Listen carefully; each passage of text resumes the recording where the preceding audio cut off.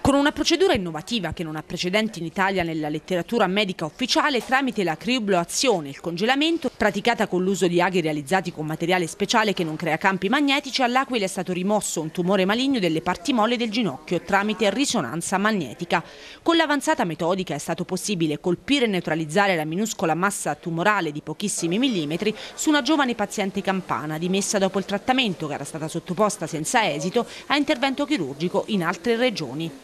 La procedura è stata praticata congiuntamente dal servizio di radiologia universitaria diretta dal professor Carlo Masciocchi e dalla radiologia d'urgenza di cui è responsabile il dottor Luigi Zugaro, assieme allo staff medico composto da Francesco Arrigoni e Pierpaolo Palumbo. In genere viene utilizzata la TAC, ma la TAC è poco precisa e quando si tratta di tumori assai piccoli, come nel caso della paziente campana, è poco efficace. Precisione che è invece la prerogativa peculiare della risonanza magnetica, la quale però non permette di utilizzare materiale metallico e quindi aghi.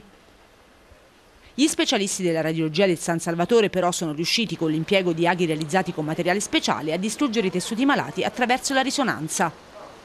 La nuova strada battuta dalla radiologia dell'ospedale San Salvatore rappresenta una novità e suggerisce un approccio inedito rispetto alle comuni procedure praticate per la rimozione dei tessuti molli. Tra l'altro, il San Salvatore da anni ha creato un virtuoso circuito di mobilità attiva con flussi di pazienti da altre regioni, guadagnando una posizione di primo piano a livello nazionale, anche per trattamenti relativi ai tumori all'osso con modalità alternative all'intervento chirurgico.